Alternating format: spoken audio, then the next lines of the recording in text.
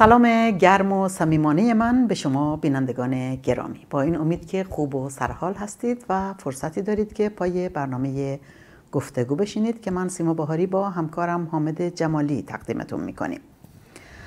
هفته گذشته دهمین سالگرد آغاز انقلابات عظیم توده‌ای در منطقه خاورمیانه و شمال آفریقا بود که منجر به سرنگونی چهار دیکتاتور شد. چیزی که به بهار عربی مشهور شد بیشتر مفسرین مدیای رسمی ده سال بعد از اون میگن که این انقلابات شکست خورد و جز بدبختی و زمستون برای مردم حاصلی نداشت آیا این طور هست؟ آیا بهار عربی تبدیل به زمستان شد؟ این سوال و سوالات دیگر رو با مهمون برنامهمون مصطفی صابر در میون خواهیم گذاشت با ما باشید سلام می‌کنم به شما مصطفی صابر. خیلی خوش اومدید به برنامه گفتگو در رابطه با بهار عربی. سلام میگم به شما و به همکاران عزیزتون و بینندگان این برنامه. اگر یک جوونی توی ایران مثلا الان 20 سالش باشه یا 18 سالش باشه تصویر روشنی از بهار عربی که 10 سال پیش اتفاق افتاد نداره. خوبه که از همینجا شروع کنیم. یک تصویر بدیم و بگیم واقعا چی بود این بهار عربی. خب الان تصویر به کلاسیک یا مورد قبول همه که همه جا گفته میشه شاید کلیشه بگیم. ولی به حال خیلی تصویر قوی هم هست. اینی که تو 17 دسامبر به 2010 درست 10 سال پیش که الان دسامبر 2020 هست. یک سبزی فروش که البته لیسانس هم داشت و تحصیل کرده بود توی تونس به در اعتراض به فقر و فلاکت و توهینی که پلیس بهش کرده بود خودش آتیش زد بو عزیزی. و این شروع شد به تکثیر شدن. خیلی در به عنوان اعتراض این کار کردن و این به صلاح گور گرفت جامعه گور گرفت تونس گور گرفت و بعد از تونس کشورهای دیگه اومدن و به یک جنبش تودهی واقعا عظیم تبدیل شد که همونطور که گفتید توی چهار کشور مصر و تونس و لیبی و یمن باعث شد که دیکتاتورات سرنگون بشن توی کشورهای دیگه مثل سوریه. تا مرز سرنگونی دیکتاتوری پیش رفتن توی کشورهای دیگه هم منعکس شد و یه جوری تکون داد همه دنیا رو این بهش به چیزی هست که بهش میگن بهار عربی. منتها من فکر می‌کنم این بهار عربی هنوز یه مقدار تقلیل دهنده است. یه مقدار هنوز وقایع رو اونطوری که هست بیان نمی‌کنه. اولا به کشورهای عربی محدود نبود. برای مثال فرض کنید قبل از تونس توی ایران ما 88 یه چیزی شبیه یک انقلاب گسترده ای داشتیم که هدفش این بود که جمهوری اسلامی رو از سر راه برداره. و بعدش هم در سال 2011 ما شاهد تحولات عظیمی در سایر نقاط جهان نه فقط خاورمیانه بودیم و جنبش اوکوپای داشتیم توی اروپا و آمریکا. و بعدم اتفاقات عجیب غریب و بسیار رادیکالی. مثلا فرض کن اتفاقاتی که توی یونان اتفاق افتاد تحولاتی که توی اسپانیا اتفاق افتاد و خیلی خیلی جنبه های دیگه داشت که این بهار عربی یه می‌خواد این موضوع رو یه مقداری محدود کنه به منطقه خاورمیانه و کشورهای محدودی.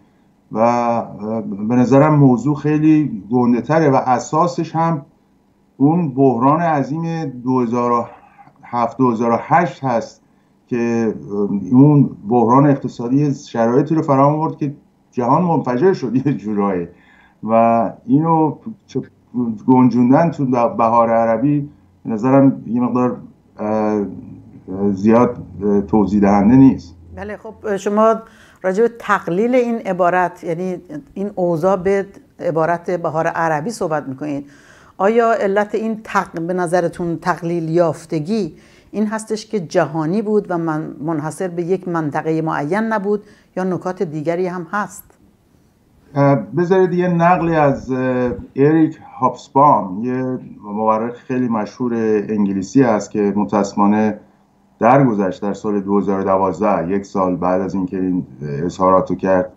و این متخصص تاریخ معاصره یه کار سجلی داره که تاریخ معاصر به خصوص قرن بیستم و تا سقوط شوروی اینا رو چیز کرده. تاریخ رو نوشته و تاریخ خیلی مشهوریه. این در این مورخ در مورد این اتفاقاتی که افتاد چه در منطقه خاورمیانه و شمال آفریقا چه جاهای دیگه چه سراسر جهان یه جورایی این تحولات رو با انقلابات 1848 50 اروپا مقایسه می‌کنه که تو اون دورم یک سری انقلابات بسیار وسیع گور گرفت. یعنی همینجور تمام دنیا وارد انقلاب شد یه جورایی. دنیای متمدن اون روز باید بگیم و اون رو سال 2011 رو مقایسه می‌کنه با اون سال و به عنوان انقلابی ترین سال تاریخ بشر ازش یاد می‌کنه. یعنی تاریخ معاصری که تاریخ ما می‌شناسیم. هیچ وقت به اندازه 2011 ما شاهد این همه تحولات و انقلابات در مناطق مختلف دنیا نبودیم. ما با یه همچه پدیده و اینا به هم ربط دارن مربوطن. درسته مرکز و به اون چشم طوفان این انقلابات منطقه خاورمیانه بود. ولی نه باز صرفا کشورهای عربی عربی نیست. خب از اصلا از ایران شروع شد. از 88 ایران انقلاب تویتوری و اینا یادتون هست؟ اولین بار اونجا مطرح که جهان شک شد شگفت شگفت زده شد که چطور یهو یک همچین جمعیت عظیمی میاد بدون رهبر بدون سازمانده بدون هیچ مبنای با با اتکاب تویتر و فیسبوک و اینترنت و اینجور ابعاد عظیم تودهی پیدا می‌کنه. و بعد مثلا شما یادتونه تو ترکیه چه اتفاقاتی افتاد تو میدان تقسیم؟ این جزء این بهانه عربی نیست. و یا گفتم مثال یونان یک انقلاب شد در واقع بعدش. یا جنبش اوکوپای کرد یک, یک درصدی ها در نیویورک در لندن تو همون سوکول که شما هستید.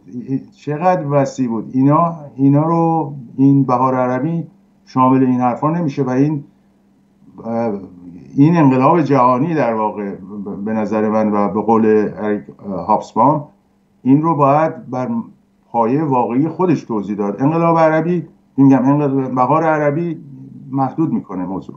بله.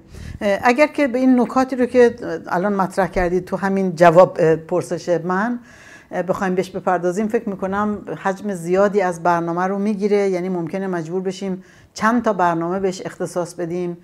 و بخوایم همه این نکات رو از ترکیه گرفته ایران گرفته یونان و جاهای مختلفی که شما بهش اشاره کردید و میشه هی برگردی هی صحبت بکنی راجب فرانسه راجب جاهای مختلف میشه صحبت کرد. اما ما مجبوریم تو همون چارچوب بهار عربی فعلا خودمون رو جمع بکنیم و صحبتامون رو رو همین متمرکز کنیم. توی ابتدای صحبتم توی مقدمه گفتم که بعضی از مفسرین میگن که برای مردم بدبختی آورد و تبدیل کرد به زمستون. شما با این ارزیابی موافقین که یه انقلابات شکست خورده ای هست که زمستون برای مردم آورد و بدبختی برای مردم آورد؟ خب به نظر من اینجور تفسیرها من زیاد سمپاتی ندارم. برای اینکه واقعیت رو اونجوری که بود و هست الان به ما نمیگه. اولا این انقلابات خب چهار تا دیکتاتور رو از کار برکنار کرد و یک سیستم و یک وضعیتی رو زد زیرش. تمام تمام جامعه به جوش و خروش در آمد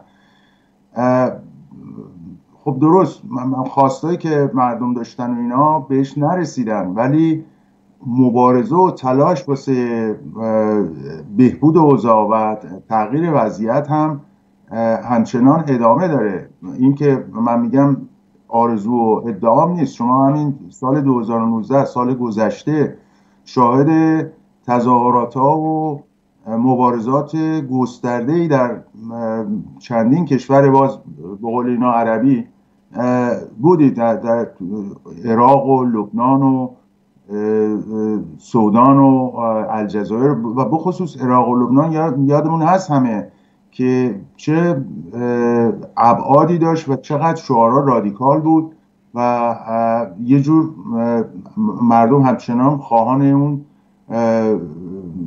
به صلاح چی بود شعار اون بهار عربی کرامت و شعار کرامت نان و کرامت بود اگه اشتباه نکنم شعار اصلیش. باز دوباره مطرح شد و خیلی هم گسترده و وسیع همین امروز که داریم صحبت می‌کنیم همین چند وقت پیش سالگرد انقلاب اکتبر توی خودشون میگن 25 اکتبر توی عراق. مبارزات وسیع تو عراق بود تظاهرات های وسیع. جامعه همجور در حال جوش و خروشه. حتی حتی توی سوریه هم هنوز اسد نتونسته کاملا اوضاع رو به صدا تحت کنترل در بره. یا توی سودان سودان که میگن نمونه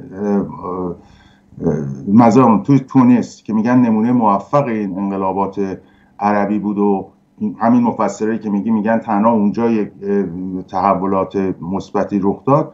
اونجا هم مردم الان ناراضی هن که اون چیزی که می‌خواستن به دست نیاوردن و خیلی شاکی هن که باید باید از این فراتر رفت.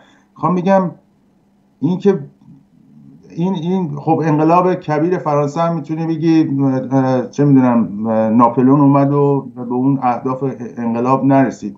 انقلابات معمولی همون انقلابات 48 50 که صحبت شد که مقایسه کرد اریک هابسبان با 2011 اونا هم بلافاصله پیروز نشدن. ولی تغییرات اساسی به وجود آوردن که دنیا رو عوض کرد مسیر تاریخ رو عوض کرد. به نظرم این انقلابات 2011 و این مشخصا بهار عربی این حتی این تیکش یه همچه نقش و جایگاهی در تاریخ معاصر داره و این انقلابات همچنان ادامه داره. به نظر من به طور بلافاصله که در یه چیزای پیروز شد حالا خواستهای مردم متحقق نشد می‌دونم ولی مردم همچنان در تلاشن و مشغولن. مثل ایران خود ایران هم دقیقا همین جوریه هنوز ادامه داره. بله. اجازه بدید یه ذره مکس کنیم رو همین قسمت. اینکه بالاخره اعتراضات توی جوامع هست و مردم در جوش و خروش هستن. منم خیلی موافقم با شما که مردم همون جایی که سال 2011 بود و این اتفاقات افتاد نایستادن حتما پیش رفتن. ولی متمرکز بشیم یه مقدار رو دستاوردها چهار تا دیکتاتور سرنگون شد. دیگه چی؟ خب این خیلی مهمه. یه ببینید تا قبل از این انقلابات صحبت از انقلاب می‌کردی چپ چپ نگاه می‌کردن. می‌گفتن آقا شما مثل که مال این دنیا نیستی. یا اصلا حالیت نیست. چه خبر؟ انقلاب کجا بود؟ اینجوری باید حرف می‌زدن. الان کسی جرات نداره این حرف رو بزنه. یهو انقلابات عظیمی صورت گرفت که گفتم تمام جهان و یه جورایی شامل شد. و این کلا دیسکورس رو عوض کرد. کلا جایگاه انقلاب جایگاه انقلاب هم انقلاب اون چیزی نیست که راستا میگن که بزن و بکش انقلاب یعنی حضور توده وسیع مردم بر سر مسئله قدرت سیاسی. این یعنی انقلاب تعریف علمیش تعریف مارکسیستیش. خب این الان کاملا به فاکتور اوضاع در همه جا تبدیل شده. کسی جرئت نداره بیاد بگه خب هنوز یه عقب توی اپوزیسیون ایران هستن که سعی می‌کنن اون discourse قدیم و انقلاب دیگه معنی نداره اینا رو بیارن. ولی کسی که یک ذره چشمش به دنیا باز باشه می‌دونه که به اصطلاح انقلاب سر پیچ بغلیه. این این تحول خیلی بزرگ و اساسی هست که توی تمام دنیا صورت گرفت و توی, توی همین کشورها صورت گرفت. یک یک فاکتور دیگه که به نظر من خیلی مهمه مسئله حضور زناست و جواناست اینها توی این انقلابات خودشون رو نشون دادن جلو اومدن مطرح کردن. چقدر حالا درسته که ارتجاع ضد زن و اینا هم بود در مقابل حضور زنان ولی چه جدال عظیمی صورت گرفت واسه اینکه زنا نقش فعالتری در صحنه سیاست و اجتماع داشته باشن. حالا وارد جزئیاتش من نمیشم. یکی یکی میگم که بگم چه دستاوردی داشته همین انقلابات یه, یه نکته دیگهش جارو کردن اسلام سیاسی و این گرایشات عقب ای که هست تو این جوامع. همه جا اسلام سیاسی تو این چیزها شکست خورد. که باز حالا وارد جزئیاتش نمیشم. خواستید وقت باشه می‌تونیم حرف بزنیم. دیگه این اینا فاکتورهای مهمی از دستاوردهای این انقلابات هست و مهمترین از همه این که مردم دیگه حاضر نیستن به صورت سابق به زندگی ادامه بدن و خواهان یک تحولات اساسی و جدیدی هستن. حاضر نیستن به اون روش سنتی و گذشته ادامه بدن. این انقلابات اینو روی میز همه گذاشت و الان هم داریم می‌بینیم. همچنان که گفتم توی اعتراضات و تظاهرات های 2009 سال گذشته ما این رو دیدیم که چطور میان کل سیستم رو زیر سوال می‌برن مردم. توی همین عراق و توی همین لبنان و اینا شعارهایی بود که ما اصلا هیچ کس علیه کل استبلیشمنت علیه کل سیستم حاکمن. از اپوزیسیونش و پوزیسیونش به نظرم اینا خیلی تحولات جالب و در عین حال جهانی هست. همین حکایت رو توی آمریکا هم می‌بینی توی اروپا هم می‌بینی. کلا سیستم جواب نمیده و نشون میده که چجور ما با یک پدیده عربی یا خاورمیانه روبرو نیستیم. با یک پدیده عمومی و جهانی تری روبرو که خودش باز بحث مفصلی بله. خب ببینید اگر که بخواید به آینده نگاه بکنید و رو به پیش نگاه کنید چی می‌بینید؟ ارزیابیتون چیه؟ چشمانداز چیه؟ من فکر می‌کنم در این جوامع که صحبتشو می‌کردیم این انقلاب نبود که شکست بود بله به خواستایی که مردم داشتن مردم نرسیدن و هنوز جریان داره و مردم تلاش و مبارزشون رو ادامه میدن که خواستاشون متحقق کنن. همون نان و کرامت در یک کلام رهایی و آزادی و برابری و رفاه اینجور چیزها که همه جا ایران هم مردم همینو می‌خوان. ولی اون چیزی که تو این جوامع شکست خورد سیستم موجوده. سیستمی که تا اون وقت بود سیستم سرمایداری که یه دیکتاتوری هم میاد و یک اوضاع فلاکتبار و مشقتباری و ریاضتکشی اقتصادی رو به مردم تحمیل می‌کنه. این شکست خورد. این جواب نمیده. اون بحران 2007 2008 نشون داد که این سیستم با تناقضات جدی درونی روبروه و انقلاباتی که در سال 2010 و 2011 و به درجه 2012 هم پیش اومد نشون داد که از لحاظ سیاسی سیستم نمی‌کشه و احتیاج به یک چیز جدید هست. به نظرم اون چیزی که شکست خورد سیستم موجود بود. وگرنه انقلاب همچنان زنده است و تو اشکال مختلف ادامه حیات میده. و آینده در پاسخ به سوال شما آینده رو اتفاقا همین مبارزه معلوم می‌کنه. اون سیستم موجود سرمایهداری که الان داریم جواب نمیده به خواسته و نیازهای مردم به مطالبات مردم. و تنها امیدی که میشه داشت اینه که و یک انقلاباتی بشه که این سیستم رو عوض کنه و مردم به خواسته و مطالباتشون برسن. به نظرم آینده به اینجا تعلق داره. بله. شما توی صحبت های اولتون که ما بعدش گفتیم خیلی فرصت نمیشه رو همه اینا بخوایم مانوف بدیم و صحبت بکنیم اشاره کردید به انقلاب یا اعتراضاتی که در سال 88 توی ایران اتفاق افتاد که گفتید شروع یک یک روند بود انگار. الان من می‌خوام برگردم به اونجا. ارتباط این اتفاقاتی که در ایران افتاد با اتفاقاتی که در کشورهای عربی و خاورمیانه و غیره افتاد اینو یه مقدار خوبه که می‌تونیم فرصت داریم که یه مقدار راجبش صحبت بکنیم و اینکه در اوضاع امروز چه ربطی بین مبارزات و اعتراضات مردم توی ایران می‌بینید و اعتراضات مردم توی منطقه؟